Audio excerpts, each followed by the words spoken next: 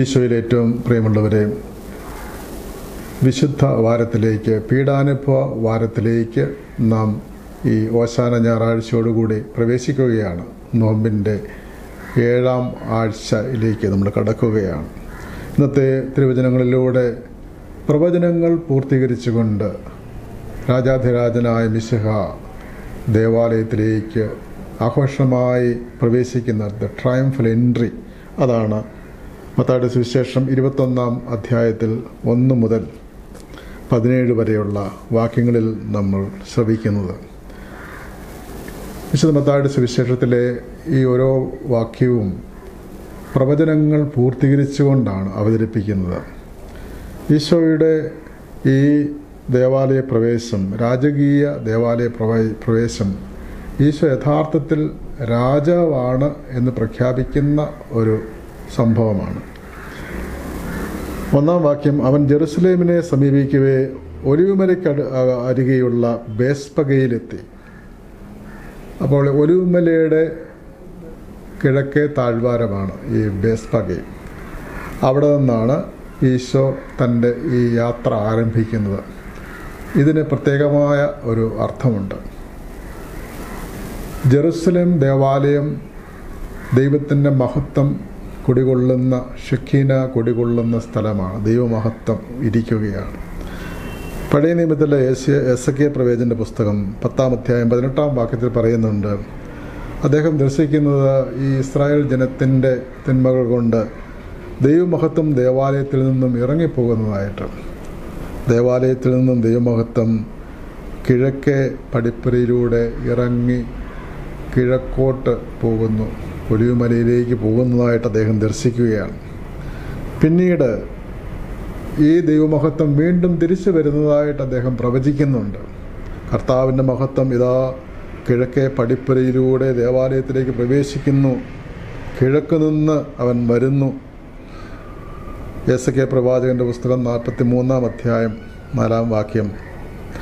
കിഴക്ക് നിന്ന് ആ ദൈവമഹത്വം തിരിച്ചു വരികയാണ്. വാസ്തവത്തിൽ ഇത് പൂർത്തീകരിക്കുകയാണ് വിശുദ്ധമത്താട് സുവിശേഷത്തിൽ. ഈ ഒലിവുമലയുടെ കിഴക്ക് നിന്ന് ഒലിവുമലയിൽ നിന്ന് ജെറുസലേം ദേവാലയത്തിന്റെ കിഴക്ക് നിന്നും ജെറുസലേമിലേക്ക് കടന്നു വരുന്ന ആ ദൈവമഹത്വത്തിന്റെ പൂർത്തീകരണമായ ദൈവം ദൈവം തന്നെയായ ദൈവപുത്രനായ ഈശ്വമിശക ദൈവമഹത്വം തന്നിൽ ഉൾക്കൊള്ളുന്നവനായ അവിടുന്ന് ആഘോഷമായി തിരിച്ചു വരുമ്പോൾ ദേവാലയത്തിലേക്ക് ദൈവമഹത്വം വീണ്ടും പ്രവേശിക്കുന്ന ഒരു പ്രവചനങ്ങളുടെ പൂർത്തീകരണമാണ് ഇവിടെ സംഭവിക്കുന്നത്. ഈശോ തന്റെ ശിഷ്യന്മാരെ നിർദ്ദേശിച്ച് അയച്ചു എതിരെ കാണുന്ന ഗ്രാമത്തിലേക്ക് പോകുവിൻ. അവിടെ ഒരു കഴുതയും അടുത്തതിന്റെ കുട്ടിയും കെട്ടിയിരിക്കുന്നത് നിങ്ങൾ കാണും. അവയെ അഴിച്ച് എന്റെ അടുക്കൽ കൊണ്ടുവരിക. എന്തിനു വേണ്ടിയാണ്? ആരെങ്കിലും ചോദിച്ചാൽ കർത്താവിന് അവയെക്കൊണ്ട് ആവശ്യമുണ്ടെന്ന് പറയുക. മൂന്നാം വാക്യം. ഇതിന്റെ അർത്ഥം കർത്താവ് ഉടമസ്ഥൻ. അതായത് ഒരു രാജാവിന് അല്ലെ ഒരു ഭരണാധികാരിക്ക് തന്റെ രാജ്യത്തിലുള്ള ഏത് ആരുടെയും വിഭവങ്ങൾ ആരുടെയും ആടുമാടുകളെ ഒക്കെ സ്വന്തമാക്കാൻ ആവശ്യപ്പെട്ടാൽ കൊടുക്കണമെന്നാണ് നിയമം. അപ്പോൾ ഈശോ തന്റെ രാജകീയ അധികാരം ഉപയോഗിക്കുകയാണ്. കർത്താവിന് ആവശ്യമുണ്ട്. അവ വിട്ടുതരും. അങ്ങനെ വിട്ടുവരുന്നത് എന്തിനു വേണ്ടിയാണ്? പ്രവചനങ്ങൾ പൂർത്തീകരിക്കുവാൻ വേണ്ടി കൂടിയാണ്. അതാണ് ഇന്നത്തെ രണ്ടാമത്തെ വായനയിൽ സക്രിയ പ്രവാചകന്റെ പുസ്തകത്തിൽ പറയുന്ന ഭാഗമാണ്. സക്രിയ ഒൻപത് ഒൻപത് സിയോൻ പുത്രി ആനന്ദിക്കുക ആർപ്പ് വിളിക്കുക. നിന്റെ രാജാവ് വിനയാന്വിതനായി കഴുതയുടെയും കഴുതക്കുട്ടിയുടെയും പുറത്ത് നിൻ ഇരുന്ന് നിന്റെ അടുക്കിലേക്ക് വരുന്നു എന്നുള്ള പ്രവചനം പൂർത്തീകരിക്കുകയാണ്. അപ്പം പ്രതാപ പ്രതാപശാലിയും വിജയ വിജയശാലിയുമായി പ്രതാപവാനും വിജയശാലിയുമായി അവൻ വരുന്നു. കഴുതയുടെയും കഴുതക്കുട്ടിയുടെയും പുറത്ത് വരുന്നു. അത് ഒന്നാമത്തെ വായനയിൽ നമ്മൾ ശ്രവിക്കുന്നുണ്ട്. യാക്കോബ് യൂതായെ സംബന്ധിച്ചുള്ള പ്രവചനത്തിൽ പറയുന്നുണ്ട് യൂത ഈ കഴുതയും കഴുതക്കുട്ടിയുടെയും കൂടെ യൂത ഒരു സിംഹക്കുട്ടിയാണെന്നൂടെ പറയുകയാണ്. യൂത ഒരു സിംഹക്കുട്ടിയാണ്. യൂത ഗോത്രത്തിൽ നിന്നാണല്ലോ ഈ രാജകീയമായ കർത്താവിന്റെ വരവ്. അപ്പോൾ അവൻ തന്റെ കഴു പതിനൊന്നാം വാക്യത്തിൽ യൂതായുടെ ഈ യാക്കോബിന്റെ അനുഗ്രഹത്തിൽ പ്രവചന പ്രവചനം കൊണ്ടുള്ള അനുഗ്രഹമാണ്. അവൻ തന്റെ കഴുതയെ മുന്തിരിവള്ളിയെയും കഴുതക്കുട്ടിയെ മുന്തിരിച്ചെടിയിലും കെട്ടിയിടും. തന്റെ ഉടുപ്പ് വീഞ്ഞിലും മേലങ്കി മുന്തിരിച്ചാറിലും അവൻ കഴുകും. അവന്റെ പന്ത്രണ്ടാം വാക്യത്തിൽ അവന്റെ കണ്ണുകൾ വീഞ്ഞിനേക്കാൾ ചുമന്നും പല്ലുകൾ പാലിനേക്കാൾ വെളുത്തുമിരിക്കും അപ്പോൾ ഈശോയെക്കുറിച്ചുള്ള ഒരു വിവരണം ആണ്. നൂറ്റാണ്ടുകൾക്ക് മുമ്പ് ആ പിതാവായ പൂർവപിതാവായ യാക്കോബ് നൽകുന്നത്. അത് പൂർത്തീകരിക്കുകയാണ് ഈശോയിൽ. കഴുതയും കഴുതക്കുട്ടിയെയും ഏഹ്, ഉള്ള ആ സൂചന അതാണ് സൂചിപ്പിക്കുന്നത്. ശിഷ്യന്മാർ കർത്താവ് കൽപ്പിച്ചതുപോലെ ചെയ്തു. അവർ കഴുതയും കഴുതക്കുട്ടിയും കൊണ്ടുവന്നു. അവരുടെ വസ്ത്രങ്ങൾ വിരിച്ചു അവൻ കയറിയിരുന്നു. ഈശോ കയറിയിരിക്കുന്നു എന്ന് പറയുന്നത് ഒരു എൻത്രോൺമെന്റാണ് രാജാ സിംഹാസനത്തിൽ കയറിയിരിക്കുന്നത് പോലെ അധികാരപൂർവം കർത്താവ് അവിടെ കയറിയിരിക്കുകയാണ്. സോളമന്റെ സിംഹാസനാരൂഢനായുള്ള സോളവിന്റെ സോളവിനെക്കുറിച്ചുള്ള ഒന്ന് രാജാക്കന്മാർ ഒന്ന് മുപ്പത്തിയെട്ട്. നാൽപ്പത്തിനാലിലൊക്കെ സൂചിപ്പിക്കുന്നത് പോലെ കർത്താവ് ആ, സിംഹാസനത്തിലിരിക്കുന്നത് പോലെയാണ്. കർത്താവ് ഇരിക്കുന്നത് കഴുതയുടെയും കഴുതക്കുട്ടിയുടെയും പുറത്തിരിക്കുന്നു എന്ന് പറയുന്നത് ഒരു ഒരു പാരലിസമാണ് ഒരു സമാന്തരത്വം. അവിടെ കാണിക്കുന്നത് കർത്താവ് ഒരു കുതിരപ്പുറത്തല്ല ഇരിക്കുന്നത് സമാധാന രാജാവായിട്ടാണ് അവൻ വരുന്നത് എന്ന് സൂചിപ്പിക്കാൻ വേണ്ടി കഴുതയുടെയും കഴുതക്കുട്ടിയുടെയും. ഇപ്പം ജനങ്ങളുടെ പ്രതികരണം എന്തായിരുന്നു? ജനങ്ങൾ വഴിയിൽ വൃക്ഷങ്ങളിൽ നിന്നും ചില്ലകൾ മുറിച്ച് വഴിയിൽ നിരത്തി മുമ്പിലും പിമ്പിൽ നടന്നവർ ദാവീദിന്റെ പുത്രൻ ഓശാന കർത്താവിന്റെ നാമത്തിൽ വരുന്ന അനുരഹീതൻ ഉന്നതങ്ങളിൽ ഓശാന എന്നുള്ള സങ്കീർത്തനം നൂറ്റി പതിനെട്ട് ഇരുപത്താറ് വാക്യങ്ങളാണ്. സങ്കീർത്തനങ്ങൾ പൂർത്തീകരിച്ചുകൊണ്ടാണ് അവിടെ കർത്താവിനെ സ്വീകരിക്കുന്നത്. ഈശോയുടെ അവദാനമാണ്. ദാവീദിന്റെ പുത്രൻ ഈശോ ദാവീദിന്റെ പുത്രനാണ് എന്നുള്ള ആ വലിയ സത്യം വിളിച്ചോതുകയാണ്. ഈശോയുടെ മഹത്വം വിളിച്ചോതുന്ന ഭാഗമാണ്. ദാവീദിന്റെ പുത്രൻ എന്ന് പറയുമ്പോൾ ഈശോയുടെ ആ രാജകീയത്വം രാജകീയത വിളിച്ചു പറയുകയാണ്. ദാവീദിന്റെ പുത്രന് ഓശാന. നൂറ്റി പതിനെട്ടാം സങ്കീർത്തനം ഇരുപത്തേഴ് ഇരുപത്താറിലാണ് കർത്താവിന്റെ നാമത്തിൽ വരുന്ന അനുരഹീതൻ. ഞങ്ങൾ കർത്താവിന്റെ ആലയത്തിൽ നിന്ന് ഞങ്ങളെ ആസ്വദിക്കും കർത്താവാണ് ദൈവം. അവിടെ നിന്നാണ് പ്രകാശം നൽകിയത്. എന്തി പ്രതിഷ് പ്രദക്ഷിണം തുടങ്ങുവിൻ. ബലിപീഠത്തിന്റെ കൊമ്പുകളിലേക്ക് നീങ്ങുവിൻ എന്നാണ് പറയുന്നത്. ഈ പ്രദക്ഷിണം അവസാനിക്കുന്നത് ആ ബലിപീഠത്തിന്റെ നാല് കൊമ്പുകളുണ്ട്. ആ ബലിപീഠത്തിൽ ചെന്ന് അവസാനിക്കുകയാണ്. അങ്ങനെ ദേവാലയത്തിന്റെ ശ്രീകോവിലേക്ക് എത്തുന്ന ഒരു പ്രദക്ഷിണത്തിന്റെ സൂചനയാണ്. അപ്പോൾ രാജകീയമായുള്ള ഈശോയുടെ വരവിന്റെ ഒരു വിളംബരം സങ്കീർത്തനങ്ങൾ പൂർത്തിയാക്കുകയാണ്. ജനങ്ങൾ ആർപ്പ് വിളിക്കുകയാണ്. ഹോശാന ഹോശിയാന സേവ് അസ് കർത്താവെ രക്ഷിക്കണമേ എന്നുള്ള ഒരു വിളിയാണ്. രക്ഷകനായ ഈശോ രക്ഷകനാണ് കർത്താവ് ആ രക്ഷ രക്ഷ അംഗീകരിച്ചുകൊണ്ട് കർത്താവെ രക്ഷിക്കണമേ. ആ റോമൻ ആധിപത്യത്തിൽ നിന്നും പലതരത്തിലുള്ള ആകുലതകളിൽ നിന്നും ഒക്കെ തകർന്നു കിടക്കുന്ന ആ സമൂഹത്തെ രക്ഷിക്കുവാൻ വേണ്ടിയാണ്. പിന്നീട് നമ്മൾ കാണുന്നുണ്ട് ഈശോ ദേവാലയത്തിൽ കയറി ദേവാലയം ശുദ്ധീകരിച്ച് സൗഖ്യം നൽകുന്നതായിട്ട് കാണുന്നുണ്ട്. അന്തർക്കും മുടന്തർക്കുമെല്ലാം സൗഖ്യം നൽകുകയാണ്. അപ്പോൾ അങ്ങനെ കർത്താവിന്റെ ആ വലിയ വിസ്മീകരമായ പ്രവർത്തനങ്ങൾ ഇത് സംഭവത്തിന് മുമ്പ് രാജകീയ പ്രവേശനത്തിന് മുമ്പും അന്ധർക്ക് കാഴ്ച നൽകുന്നത് കാണിക്കുന്നുണ്ട്. അതിന്റെ അർത്ഥം ഈശോ യഥാർത്ഥത്തിൽ രക്ഷകനാണ്. കർത്താവെ രക്ഷിക്കണമേ. ഹോശാന ദാവീദിന്റെ പുത്രൻ ഹോശാന. അവൻ ഓർസലമിൽ പ്രവേശിച്ചപ്പോൾ ജനങ്ങൾ നഗരം മുഴുവൻ ഇളകി വശായി. ജനങ്ങൾ നിരങ്ങ ജന നഗരം ഇളകി വശായി എന്നുള്ള ഈ വാക്ക് വളരെ പ്രധാനപ്പെട്ടതാണ്. അതിന്റെ അർത്ഥം ജനങ്ങൾ മുഴുവനും കർത്താവിന്റെ ആ വരവിൽ ആഹ്ലാദിച്ചു അവിടെ തീർത്ഥാടകരെ കൊണ്ട് നിറഞ്ഞിരിക്കുകയാണ്. വലിയൊരു കൊമോഷൻ വലിയൊരു ചലനം കർത്താവ് ഒരു ഒരു അവിടെ സൃഷ്ടിക്കുകയാണ് കർത്താവിന്റെ ആ സാന്നിധ്യം വഴി. വലിയ പ്രകമ്പനം പ്രകമ്പനം സൃഷ്ടിച്ച ഒരു വരവാണത്. ഈ ജനങ്ങൾ ഇളകി വശായി എന്നുള്ള ഈ വാക്ക് ഇതേ വാക്ക് തന്നെ നമുക്ക് മത്താട് സുവിശേഷത്തിൽ മൂന്ന് രാജാക്കന്മാർ ഭുജരാജാക്കന്മാർ കിഴക്കെന്നുള്ള ആ ജ്ഞാനികൾ വന്ന് ചോദിക്കുന്നുണ്ട്. ഹെറോസിന്റെ കൊട്ടാരത്തിൽ വന്ന എന്താണ് യഹൂദർക്ക് പറഞ്ഞ രാജാവ് എവിടെയെന്ന് ചോദിക്കുമ്പോൾ പറയുന്ന വാക്ക് ഇത് തന്നെയാണ്. അവനും അവരുടെ കൂടെയുള്ളവരെല്ലാവരും ഇളകി വശായെന്നാണ് ആ ഇളക്കം രാജാവായ കർത്താവിന്റെ ആ വരവ് കേട്ടുള്ള ഞെട്ടിത്തിരയ്ക്കലാണ് കാണിക്കുന്നത്. അങ്ങനെ പകമ്പനം കൊള്ളിച്ചുകൊണ്ടാണ് കർത്താവ് വരുന്നത്. ആരാണിവൻ എന്നവർ ചോദിക്കുകയാണ്. അപ്പോൾ ഈശോയുടെ വലിയ മഹത്വമേറിയ ഒരു സാന്നിധ്യത്തിന്റെ അടയാളമാണ്. ജനക്കൂട്ടം പറഞ്ഞു ഗലീലിൽ ഗലീലിയായിലെ നസസ് എന്നുള്ള പ്രവാചകനായ ഈശോയാണവൻ. അങ്ങനെ പഴയ നിയമം മുഴുവൻ പൂർത്തീകരിച്ചുകൊണ്ടുള്ള വരവാണ്. സക്രയുടെ പുസ്തകത്തിൽ പറയുന്നുണ്ട് അവന്റെ ആധിപത്യം പത്താം വാക്യം സമുദ്രം മുതൽ സമുദ്രം വരെയും നദി മുതൽ ഭൂമിയുടെ അറ്റം വരെയും പ്രവാസികളെ ഞാൻ ജലരഹിതമായ കുഴിയിൽ നിന്നും സ്വതന്ത്രമാക്കും. അങ്ങനെ കർത്താവെ രക്ഷിക്കണമേ ഓശാന എന്ന് പാടുമ്പോൾ സ്വാതന്ത്ര്യം നൽകുന്നവനാണ് കർത്താവ് എന്നുള്ളതെല്ലാം പൂർത്തീകരിക്കുകയാണ്. പിന്നീട് ഈ ദൈവമഹത്വം ദേവാലയത്തിലേക്ക് പ്രവേശിക്കുന്ന ആ എസ് കെ ആർ പ്രവാചകൻ കണ്ട കാര്യങ്ങളെല്ലാം പൂർത്തീകരിക്കുകയാണ്. ദേവാലയത്തിന്റെ അധികാരം ഈശോ തിരിച്ചു പിടിക്കുകയാണ്. ദേവാലയത്തിലേക്ക് അവിടുന്ന് കയറി വരികയാണ്. ജെറുസലം ദേവാലയത്തിൽ പ്രവേശിച്ചു. അവിടെ ആദ്യം കാണുന്ന അവിടെ ക്രയവിക്രയം ചെയ്തിരുന്ന നാണയമാറ്റക്കാരുടെ മേശകളും പ്രാവപ്പെട്ട വിൽപ്പനക്കാരുടെ ഇരിപ്പിടങ്ങളും അവൻ തട്ടിമറിച്ചു. എന്നിട്ട് പറഞ്ഞു എന്റെ ഭവനം പ്രാർത്ഥനാലയം എന്ന് വിളിക്കപ്പെടും എന്ന് എഴുതപ്പെട്ടിരിക്കുന്നു. നിങ്ങളോ അത് കവർച്ചക്കാരുടെ ഗുഹയാക്കി മാറ്റിയിരിക്കുന്നു. യശയ അമ്പത്താറ് ഏഴ് ജർമ്മി ഏഴ് പതിനൊന്നൊക്കെ പൂർത്തീകരിച്ചുകൊണ്ട് പറയുകയാണ്. എന്റെ കർത്താവിന്റെ ഭവനത്തെക്കുറിച്ചുള്ള തീക്ഷ്ണത അവനെ വിഴുങ്ങിക്കളഞ്ഞു എന്ന് മറ്റവസരത്തിൽ നമ്മൾ വായിക്കുന്നുണ്ടല്ലോ. അങ്ങനെ കർത്താവ് എന്ത് ചെയ്തു? അങ്ങനെ അവരെയെല്ലാം ആ ദേവാലയം ശുദ്ധീകരിക്കുകയാണ്. അന്ധന്മാരും മുടന്തന്മാരും ദേവാലയത്തിൽ അവന്റെ അടുത്തെത്തി അവർ അവനെ സുഖപ്പെടുത്തി. അപ്പോൾ ഇതാണ് കർത്താവിന്റെ ആ രക്ഷ അവിടുന്ന് ദേവാലയത്തിൽ വച്ച് പ്രകീർത്തിച്ചുകൊണ്ട് രക്ഷ വിളംബരം ചെയ്ത് അടയാളപ്പെടുത്തുകയാണ്. എന്നിട്ട് ആർപ്പ് വിളിക്കുന്നത് കാണുമ്പോൾ ദേവാലയത്തിൽ ആർപ്പ് വിളിക്കുന്ന കുട്ടികളെ കണ്ടപ്പോൾ പുരാ പ്രധാന പുരോഹിതന്മാരെ നിയമജ്ഞനും രോഷാകുലരായി ഇവരെന്താണ് പറയുന്നത്? നീ കേൾക്കുന്നില്ലേ? അപ്പോൾ ഈശോ മറ്റൊരവസരത്തിൽ പറയുന്നുണ്ട് ഇവർ ഇപ്പോൾ നിശബ്ദരായാൽ ഈ കല്ലുകൾ ആർത്ത് വിളിക്കുമെന്ന്.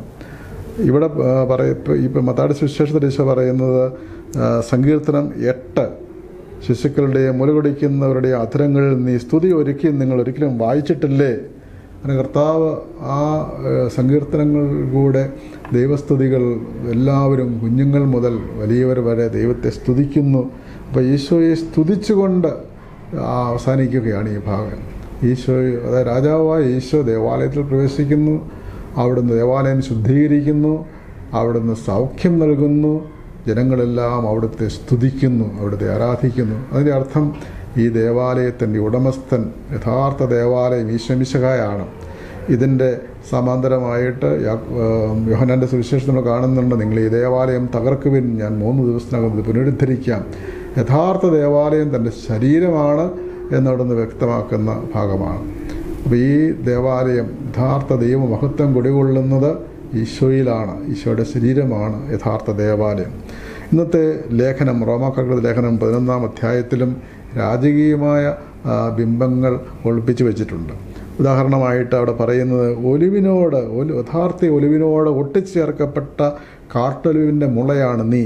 അതായത് വിജാതിരോട് പറയുകയാണ് യഥാർത്ഥ ഒലിവ് യഹൂദന്മാർ അവരെ മാറ്റുന്ന അവരെ മുറിച്ച് കളഞ്ഞിട്ട് ചില ശാഖകൾ മുറിച്ച് കളഞ്ഞ് നിന്നെ അവിടെ ഒട്ടിച്ച് വെച്ചിരിക്കുകയാണ്. അതുകൊണ്ട് നീ അഹങ്കരിക്കരുത്. അതിന്റെ അർത്ഥം എന്താണ്? ഈ ഒലിവിന്റെ എണ്ണ കൊണ്ടാണ് രാജാവിനെ അഭിഷേകം ചെയ്യുന്നത്. ഒലിവും ഒലിവ് ശാഖകളും പോലെയുള്ള ബന്ധമാണ് രാജാവായ ഈശോയും ഈശോയോട് ഒട്ടിച്ചേർക്കപ്പെടുന്ന വിജാതീയ ക്രിസ്ത്യാനികളുമെന്ന് സൂചിപ്പിക്കുകയാണ്.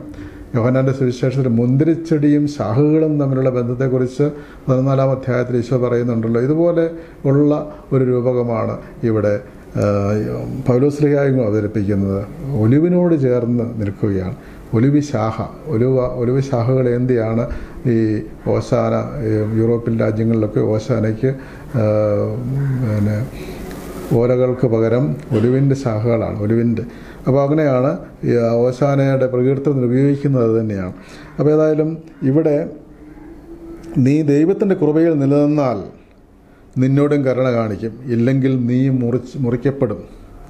ഇവിടെ സൂചിപ്പിക്കുന്നതാണ് ഈശോ ആകുന്ന ആ മുന്തിരിച്ചെടിയോട് ഈശോ ആകുന്ന ആ ഒലിവി ശാഖയോട് നീയും ചേർന്നിരിക്കണം.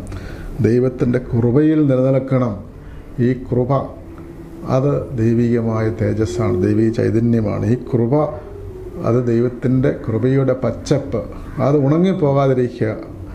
ഉണങ്ങാതെ കർത്താവിനോട് പോലും ചേർന്നിരുന്നെങ്കിൽ മാത്രമേ ഈശോയുടെ രാജകീയ പൗരോഹിത്വത്തിൽ നമ്മൾ സ്വീകരിച്ച അംഗത്വം അർത്ഥവത്തായി തീരുകയുള്ളൂ.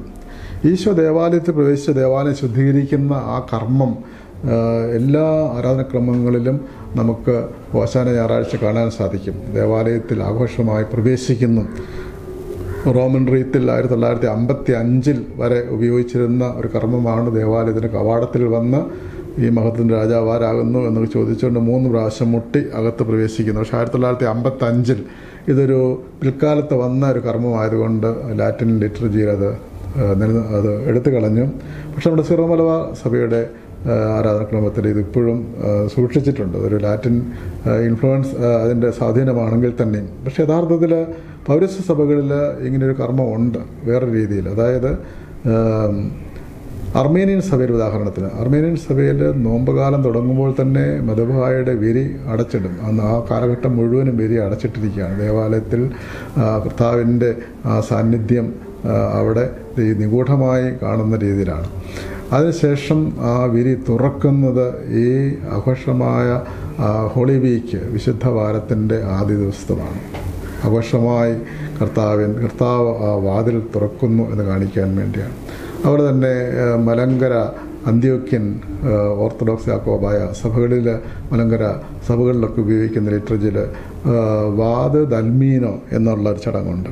അതിന്റെ അർത്ഥം തുറമുഖ പ്രവേശം റീച്ചിങ് അറ്റ് ദ ഹാർബർ അതായത് ഈ നോമ്പുകാലത്തിന്റെ ഈ യജ്ഞം ഈ പ്രാർത്ഥന സബരിയ അത് പൂർത്തീകരിച്ചുകൊണ്ട് ആ തുറമുഖത്തേക്ക് എത്തിച്ചേർന്നിരിക്കുന്നു എന്ന് സൂചിപ്പിച്ചുകൊണ്ട് ആഘോഷമായി ദേവാലയത്തിന്റെ വാതിൽ തുറക്കുന്ന ഒരു കർമ്മം. അപ്പോൾ പൗരസഭകളിലും ഈ കർമ്മം വാസ്തുവിലുണ്ട് തീർച്ചയായിട്ടും അതുകൊണ്ട് ദേവാലയത്തിന്റെ ആ തുറന്ന ദേവാലയത്തിനകത്തേക്ക് നമ്മൾ പ്രവേശിക്കുന്നത് വാസ്തു ഈശോയോടൊപ്പം വീണ്ടും ഒന്നുകൂടെ പുതിയ ചൈതന്യത്തോടു കൂടി ദേവാലയത്തിൽ പ്രവേശിക്കുകയാണ്. കർത്താവ് തന്റെ ദേവാലയത്തിലെ അധികാരം തിരിച്ചു പിടിച്ചതുപോലെ നമ്മുടെ ദേവാലയം കർത്താവിന്റെ സാന്നിധ്യം കൊണ്ട് നിറയുവാനുള്ള ഒരു അവസരമാണ്.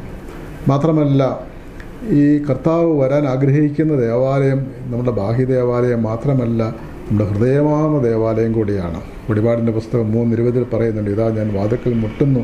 ആരെങ്കിലും വാതിൽ തുറന്നു കൊടുത്താൽ ഞാൻ അവനോട് അകത്ത് പ്രവേശിക്കും ഞങ്ങൾ ഒന്നിച്ച് വിരുന്നിനിരിക്കും. അപ്പോൾ കർത്താവ് പുറമേ നടക്കുന്ന ഒരാളല്ല. കർത്താവ് അകത്ത് പ്രവേശിക്കുവാൻ ദേവാലയത്തിന്റെ ശ്രീകോവിലേക്ക് ഉള്ളിന്റെ ഉള്ളിലേക്ക് പ്രവേശിക്കുവാൻ നാം അനുവദിക്കണം കർത്താവിനെ. കർത്താവ് പ്രവേശിച്ചു കഴിയുമ്പോൾ അവിടെ നടക്കുന്ന നമ്മുടെ ഉള്ളിന്റെ ഉള്ളിൽ നടക്കുന്ന പലതരത്തിലുള്ള വൈരുദ്ധ്യങ്ങൾ പല കുറവുകൾ പുറമേ ആരും കാണാത്ത പലതരം കുറവുകൾ അവിടെയുണ്ട് അതെല്ലാം കർത്താവ് ശുദ്ധീകരിക്കുന്നു. അവിടെയുള്ള നാണയമാറ്റം ക്രയവിക്രയങ്ങൾ അതെല്ലാം ശുദ്ധീകരിച്ച് ആ ദേവാലയത്തിന്റെ ഉടമസ്ഥാവകാശം തിരിച്ചു പിടിക്കുകയും സൗഖ്യം നൽകുകയും ചെയ്യും. കർത്താവെ രക്ഷിക്കണമേ. അങ്ങനെ കർത്താവിനെ ആ കുഞ്ഞുങ്ങൾ സ്തുതിച്ചതുപോലെ നിഷ്കളം ഹൃദയത്തോടുകൂടി ആ കുഞ്ഞുങ്ങൾ ആ, അധരങ്ങൾ കൊണ്ട് നീ സ്തുതി ഒരുക്കിയില്ല എന്ന് പറഞ്ഞ നിഷ്കളങ്കമായ സ്തുതികളാണ്. അങ്ങനെ നിഷ്കളങ്കമായ നിഷ്കപടമായ സ്തുതികൾ ഉയർത്തുവാനുള്ള ഒരു വലിയ അനുഗ്രഹം നമുക്ക് ലഭിക്കുകയാണ്. നമ്മെ തന്നെ ശുദ്ധീകരിക്കുവാനുള്ള അവസരമാണ്. അതുകൊണ്ട് ഈശോയ്ക്ക് വേണ്ടി നമ്മളുടെ ജീവിതത്തിന്റെ വാതിലുകൾ തുറന്നിടുക. ജോമ്പോ രണ്ടാമൻ മാർപ്പാപ്പ തന്റെ സ്ഥാനം ഔദ്യോഗിക സ്ഥാനം ഏറ്റെടുത്ത് നടത്തിയ ആദ്യത്തെ പ്രസംഗത്തിൽ പറയുന്നതാണ് നിങ്ങളുടെ ഹൃദയത്തിന്റെ വാതിലുകൾ നിങ്ങളുടെ ജീവിതത്തിന്റെ വാതിലുകൾ തുറന്നിടുക. കർത്താവിന് വേണ്ടി തുറന്നു വയ്ക്കുക. കർത്താവ് നമ്മുടെ ജീവിതത്തിലേക്ക് പ്രവേശിക്കട്ടെ നമ്മുടെ ഭവനങ്ങളിലേക്ക് പ്രവേശിക്കട്ടെ നമ്മുടെ ഇടവക ദേവാലയങ്ങളിലേക്ക് പ്രവേശിക്കട്ടെ. അങ്ങനെ കർത്താവ് പ്രവേശിച്ച് ആ കർത്താവിന്റെ മഹത്വം പ്രവേശിച്ച് ആ ദേവാലയത്തിന്റെ അധികാരം അവിടെ തിരിച്ചു പിടിക്കുന്നു ദേവാലയത്തെ ഇനി നിയന്ത്രിക്കുന്നത് കർത്താവാണ്. അങ്ങനെ നമ്മുടെ ഇടവകളെയും നമ്മുടെ സമൂഹങ്ങളെയും നമ്മുടെ ഭവനങ്ങളെയും നമ്മുടെ ഹൃദയത്തെയും അധികാരപൂർവം നയിക്കുന്ന കർത്താവാണ്. കർത്താവിന് അവയെക്കൊണ്ട് ആവശ്യമുണ്ടെന്ന് പറയുന്ന പോലെ കർത്താവിന് നമ്മെക്കൊണ്ട് ആവശ്യമുണ്ട്. കർത്താവ് വന്ന് വസിക്കുന്ന ഇടമായി നാം തീരണം. കർത്താവ് സഞ്ചരിക്കുന്ന ഈ കഴുതയും കഴുതയും കുട്ടിയും പോലെ കർത്താവിനെ വഹിക്കുന്നവരെ ക്രിസ്റ്റഫറസ് എന്ന് പറയുന്നത് കർത്താവിനെ വഹിക്കുന്നവരാണ്. ആ കർത്താവിനെ വഹിക്കുന്നവരായി നമ്മൾ മാറുക. അപ്പോഴാണ് നമ്മളുടെ ഈ ഈ നോമ്പാചരണത്തിന്റെ റീച്ചിങ് അറ്റ് ദ ഹാർബർ അതിന്റെ തുറമുഖത്തെത്തുന്ന അനുഭവം നമുക്കുണ്ടാകും. അതുകൊണ്ട് ഈ ഓശാന ഞായറാഴ്ച നമ്മളിലെ കൃപയുടെ പച്ചപ്പ് നമ്മുടെ ഓശാനയ്ക്ക് ഉയർത്തുന്ന ആ കുരുത്തോലകൾ ഉണങ്ങിപ്പോകും. പക്ഷെ ഉണങ്ങാതെ സൂക്ഷിക്കേണ്ട ആ കൃപയുടെ പച്ചപ്പിന്റെ ഒരു ഓർമ്മ അത് നമ്മളെ നമ്മൾ അനുസ്മരിപ്പിക്കുന്ന ഒരു യാഥാർത്ഥ്യം കൂടിയാണ് ഈ ഓശാന ഞായർ ദിവസം. അതുകൊണ്ട് കർത്താവിന്റെ ചൈതന്യം നമ്മളിൽ നിറഞ്ഞു നിൽക്കുവാനും കർത്താവിന്റെ ചൈതന്യത്താൽ നമ്മളുടെ ദേവാലയങ്ങളും നമ്മുടെ നമ്മളുടെ വസിക്കുന്ന ഇടങ്ങളും ഹൃദയങ്ങളും എല്ലാം ശുദ്ധീകരിക്കപ്പെടുവാനുള്ള അനുഗ്രഹത്തിനായി പ്രാർത്ഥിച്ചുകൊണ്ട് ഈ വിശുദ്ധ പീഡാനുഭവ ആഴ്ചയിലേക്ക് നമുക്ക് പ്രവേശിക്കാം. ദൈവം നമ്മെ എല്ലാവരെയും അനുഗ്രഹിക്കട്ടെ.